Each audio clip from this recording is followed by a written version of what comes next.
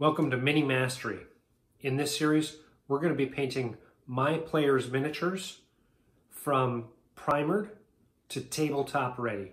We're going to be going through each player's mini and starting from just a primered mini and painting it through layer by layer, step by step. You'll be able to see the progress, follow along, and learn about the characters who are in our current campaign. Let's check it out.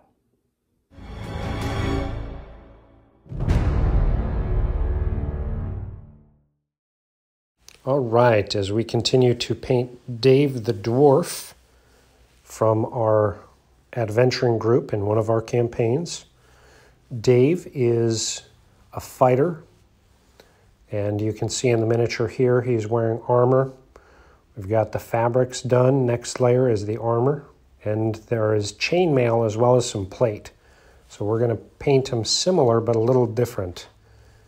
And because he's kind of a straightforward fighter, I'm going to go with just a triad.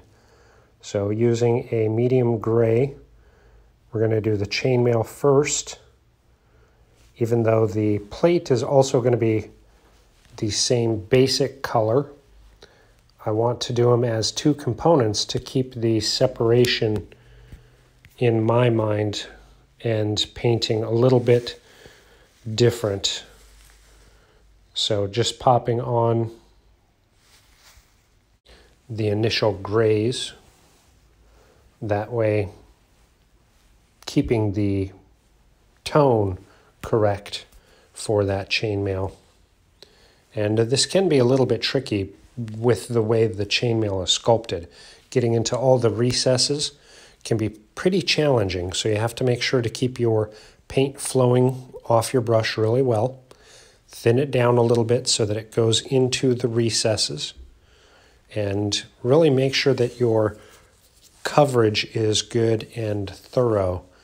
Since this is the base layer and we're going to be doing a dark wash on top of it, we want to make sure that we've got really good coverage on those chainmail sleeves and the skirt. And this gray here, we know it's going to be a little bit darker, but already we're seeing good contrast with the orange-red sleeves and the blue pants. So I think it's going to look really well and really have those standout colors pop off the Mini once it's completed. Now the challenges of getting into all of those chain link areas on this chain armor take a little bit of time. Of course, we've sped this up to keep it nice and short, but really making sure that we have good coverage is key because this base layer is going to be the most important layer to get the additional layers that we're going to put on top of it to really blend together um, without really blending. So because it's chainmail, it's a lot of little bits and pieces of metal. There won't be as much blending, especially because it's a very small miniature. But the color's gonna flow really, really well. So just finishing these bits up here and making sure we've got good coverage. We'll let that dry and clean out the brush really well. And then for the next section, as we work on the colors, we've already got them laid out on the palette, but making sure that we have the good progressions, we'll go in and start laying in that shadow wash, which this is just a black liner that's thinned down even more. And add in those shadows, really darken this chainmail up. We want this to look almost like iron like it was just wrought. The character received the armor from dwarven craftsmen, so very well made, but again, we want to highlight the fact that it's pretty average armor at this point. It was crafted average, and then even though in the game he's going to have it enchanted, we want to have it really look like just standard armor, thus the triad and getting that wash in there. You can see how dark that is and how that Blue especially really stands out against it. The sleeves a little bit as well. Those would be great pops of color once the miniature is completed, especially when we complete the gauntlet gloves and the boots. You'll really see that color stand out. And just another brush washing here. And continuing to lay in color and make sure that we've got good coverage. So Dave as the fighter, he is definitely a character who isn't looking to be the leader of the group. He is there to assist the group with making sure that tasks that they're getting are complete, taking on challenges head on. But he's not such a risk taker that he's going to jeopardize himself or his party. Recently, they were hunting a catoblepas, and upon stocking up, which I was surprised they were able to do with as heavy armor as they were wearing, but they rolled really well. He didn't take a absolute crazy risk and try to rush into the water. So Dave knows his limitations and utilizes good judgment on the battlefield while looking for tactical advantages and then getting right up to start dealing some damage and uh, even taking hits to protect his fellow adventurers. Uh, great character. The player is doing really well. And as we're working on this mini, I said in the last video, there are already a couple of details that I want to highlight to call out, kind of the player's background as well. So as we get to those details, I'll, I'll clue you in a little bit more, but there are little bits here and there that um, are going to be painted specifically for the player more so than the character. Um, I'm really excited to see this one progress into the next couple of levels. In the game, they just had a level up recently, so I'm exciting to see how some of the feats are being applied in game. And here, as we're working on the shield, the light, of course, is going to be coming from the top of the Mini. So knowing that is going to allow us to start doing the highlights after we get this all base coated in. Uh, the helmet as well. Because we know that light is coming from directly above, that'll dictate how we highlight this Mini. But you can already see the difference in the plate and shield versus the chain, sleeves, and skirt. So good color contrast so far. I'm pretty happy with it. And for the next step, we're going to change the technique a little bit. Um, just because, again, with that chainmail, I want to really differentiate it from the rest of the miniature. So we'll change out from the sable hair brush to just a little bit of an older brush that we can really mash up and change up. And we're going to do some dry brushing. And that means getting the brush nice and dry. So put some paint on and brush off excess. And this is back to the dark gray, so the base coat. Stippling this on that chain, it's going to stay on the higher areas so it won't go into the recesses, leaving our shadows nice and dark but giving the texture that's sculpted into this chainmail. Again, this is really a challenging mini to paint because it's so small.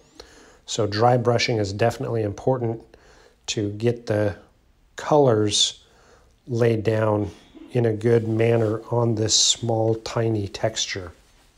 Dwarves and gnomes and halfling miniatures, definitely one of the more challenging miniatures to paint but they're also a lot of fun just because they have some really good details. So cleaning the brush out and then moving on to the next lighter gray. You can see just getting that paint onto the brush and then drying it off. Um, of course, in between each paint color, as I wash the brush, I'm allowing it to dry out because the dry brush technique, you definitely need that brush to be the bristles to be dry. Otherwise, your paint is going to stay in the belly and come out more fluidly. So that's kind of the secret between or behind dry brushing is you really want to have a dry brush so that the paint doesn't stay as a, a real flowing liquid in the belly of the bristles of your brush. So super important.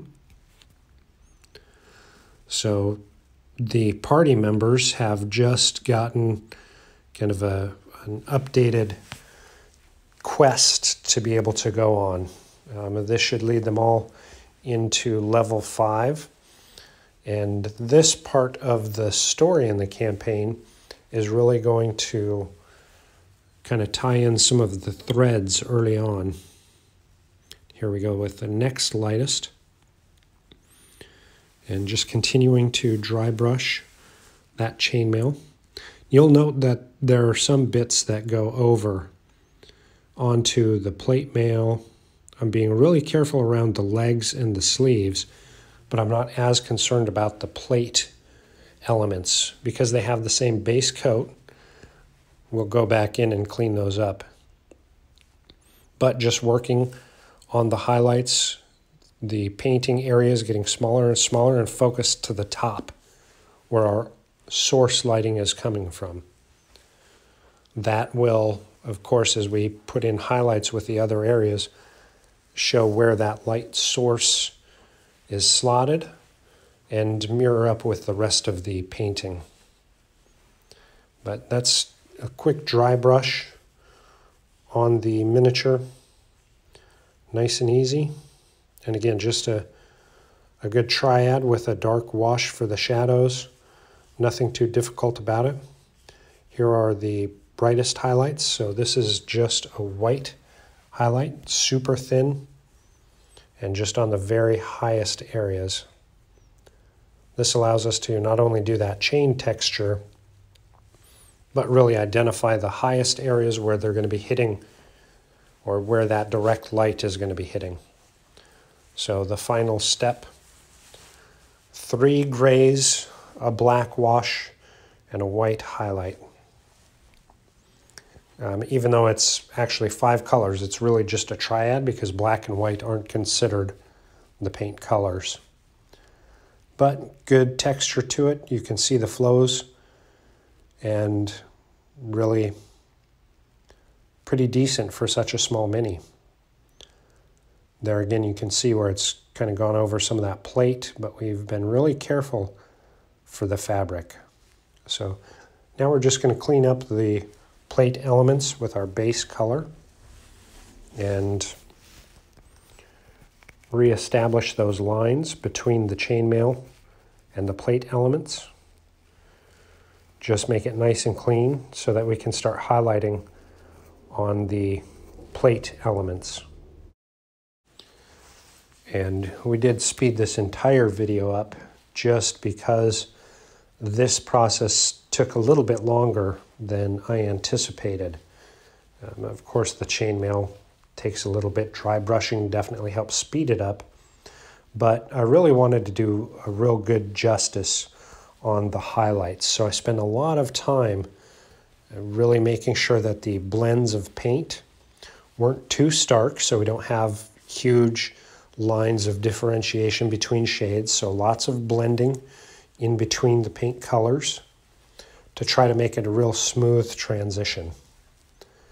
Then of course with the paint on the lower shades, I cover about three quarters to half of what I've previously painted to highlight up.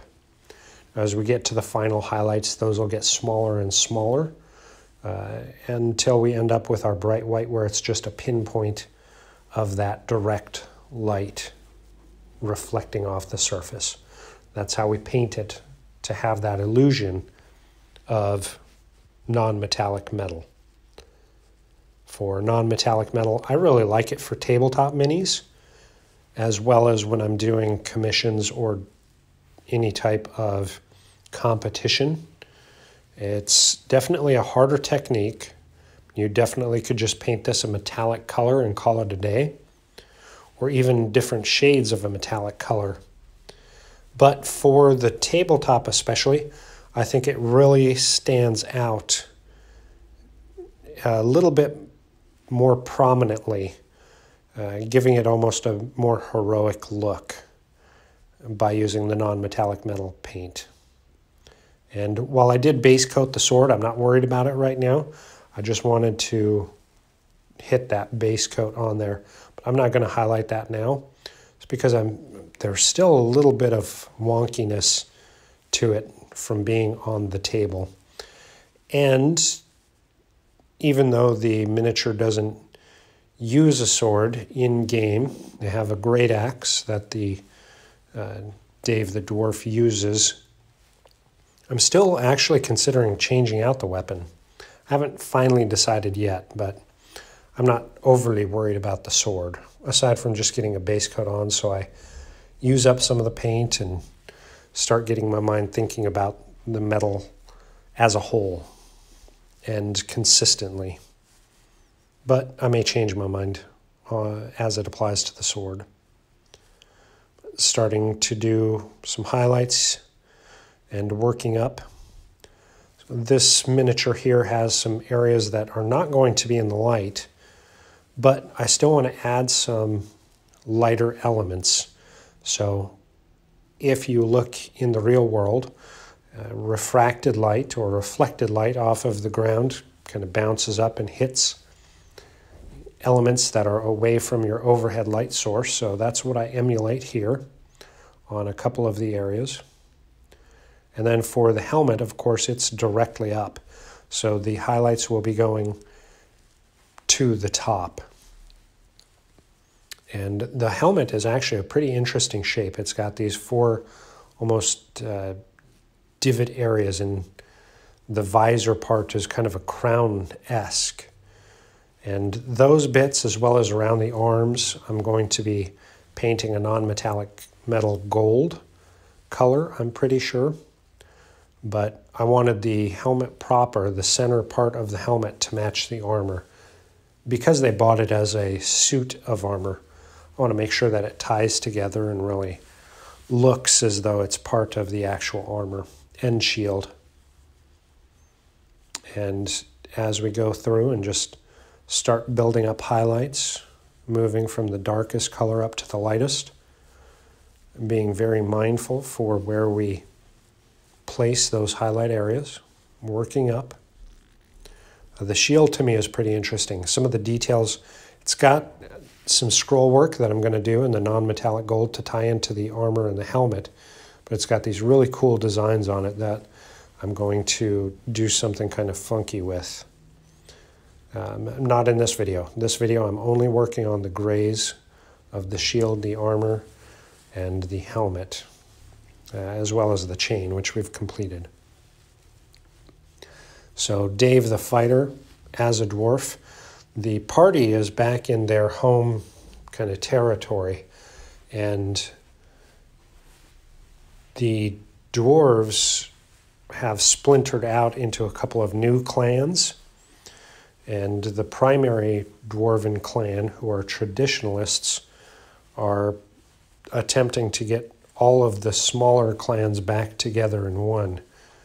And there's a bit of story bit there if the party decides to investigate it. It doesn't tie into the primary overarching story, but just some opportunity for additional storytelling with Dave. Again, I don't coerce or railroad my players into stories, but try to bring in some details that they can explore should they want to. Add in additional role playing or character arcs or anything like that. So I put some hooks out there and see if there are any bites. If they want to explore them, then I'm happy to delve into them deeper with the character. That's one of those items where the player actually gets to help flesh out more of their story. So try to do that for each of the players. Luckily with Dave being a dwarf, it was nice and easy because in the game world, there is a dwarf clan with some kind of factioning going on. So using the sable hair brush, just continuing to do highlights. Again, lots of blending from that base dark gray up to the brightest color, which will be just shy of a bright white. And then we'll have a highlight pinpoint of bright white on the necessary parts where the light would actually be shining to. But some areas of this were a little more challenging with the way the shield is being held. And then actually the beard as well has a couple of areas where it's a little more challenging to do the painting.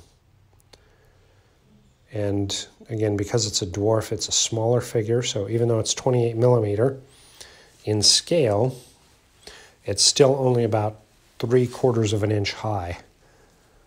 So still pretty tiny to do this much detail work.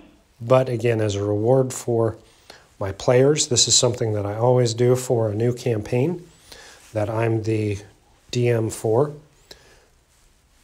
And kind of a thank you for them taking the time to participate. So I wanted to do Dave the Dwarf after we finished Jaw the Paladin. Uh, again, partly because of the sculpt I really love, and some of the details on there really spoke to me for both the character as well as the player. I was able to jump right in. Now that we're getting more and more story behind us, I'm getting a better feeling for both the player as well as the character. So it's nice to be able to integrate some of those details in. Like I said, with the armor, having it more just a triad of grays rather than a dark or a very light, um, shiny, almost Excalibur chromed armor. Just more utilitarian. I think the variance when you see the party together is you're able to see a lot of different characteristics of the player characters through the minis, the way that they're being painted. So it's kind of cool, this video series. I'm really excited to see how it turns out in whole, because when we have the party together, once all of them are painted, seeing the kind of variations from member to member is going to be pretty exciting. I'm really looking forward to getting all of these painted. I only wished I could do all of them at once or in just a couple of sittings. But I'm a realist as well and have to really take care of real life outside of just painting minis. Again, these minis, the colors, while I'm choosing them, are really being led by the players the way that they're playing the characters, items that they're doing in game are really leading to my decisions on what colors to choose and what colors to focus on and lean on. It's super rewarding. If you haven't painted in this kind of style before, I highly recommend trying it. It's very rewarding. Again, your players will love seeing how they impacted your choices. And as a group, it's going to be cool to see how the party members all stand together, um, what differentiates them, and what kind of ties them together. I'm going to be interested to see that at the end of this series. But we've got five party members to paint. We're on number two right now. Again, still early in the campaign story. Most of the party has just hit level four. So we've got a little bit of story behind us, but they're just kind of getting into the meat of the game world's overarching story. So we'll see how that affects the party going forward as well. So Dave, as I said, actually in-game uses a great axe that was just enchanted. So it's a plus one great axe. And just had a couple of combats where he's able to utilize it. I try to look at items that I can incorporate into the minis as well. And again, I'm, I'm tempted on this one to do a little bit of conversion with the sword, but I'm not positive. Just because I like to do any conversions prior to attaching it to the base and primering it. So I'm not 100% yet. We'll see. You can see on the shield especially, but the armor as well, where the highlights are starting to really define the armor. It's separated really well from the chain, bits and pieces, and the illusion of highlight, stark highlight, is really starting to come through on that metal. The non-metallic coloring is working pretty well so far. I'm pretty happy with it in this miniature where we're at.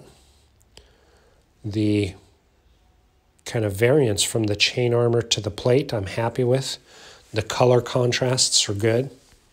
Even though it's the same color base, the same spectrum of colors, there feels like there's a good differentiation between the two materials, which is that optic illusion that we wanted to create from the chainmail to the plate elements. So far, I'm really happy with how this is coming out. And with those highlights continuing to bring us up to the highest points or where that light is reflecting off of, it's giving us a good almost depth on the miniature. So because it's so small, we really have to augment those. If you were just to put this under a light, you would definitely have some light and shadow, but by having this transition, this gradual transition from dark to light to white is super important for the miniature painting process. The miniature as a whole just loses a lot of depth. You're not able to pick out the variances in materials if you don't do a decent paint job. So super important that we really make sure that we're paying attention to the difference in materials, how the light reacts with those materials, and then having good graduating shadow to light on the mini. But the shield alone, we're getting into some of the final highlighting areas here. We want to start narrowing out those highlight points.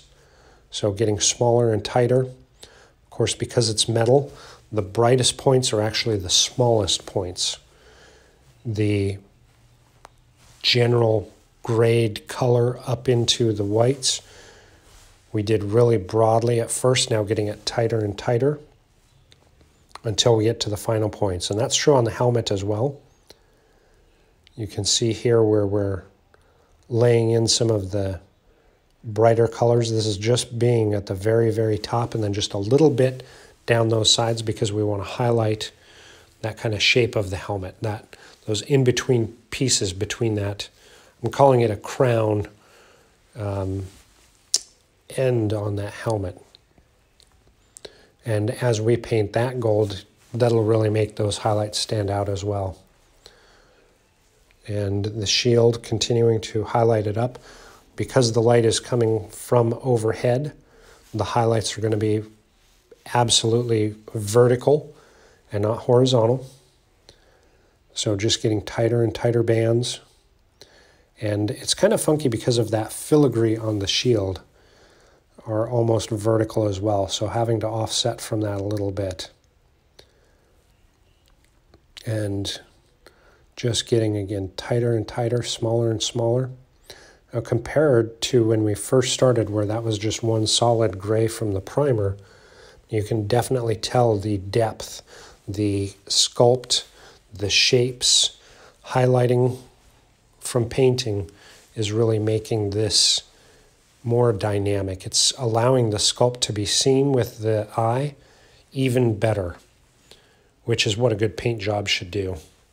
The sculpts are beautiful. We need to be able to see them really well with the eye.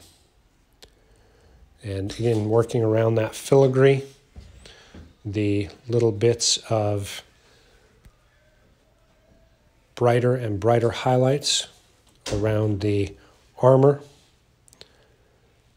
and on the helmet, just smaller and smaller bits. This is where a good brush is just absolutely critical. You need to have a good belly to hold the paint, but a real fine point to be able to lay the paints down exactly where you need them.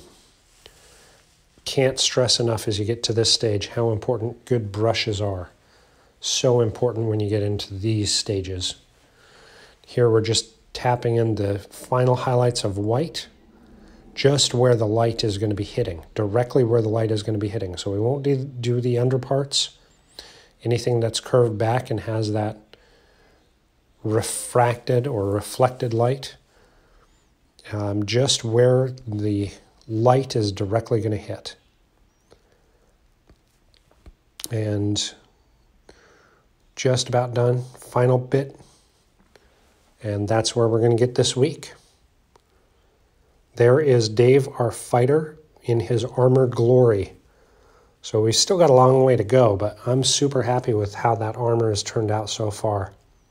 Hope you enjoyed and leave your comments for what your thoughts are on Dave the Dwarf. Let me know if you have questions on it.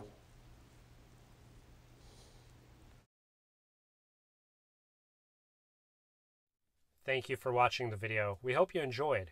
Here's an additional video that we feel you may like.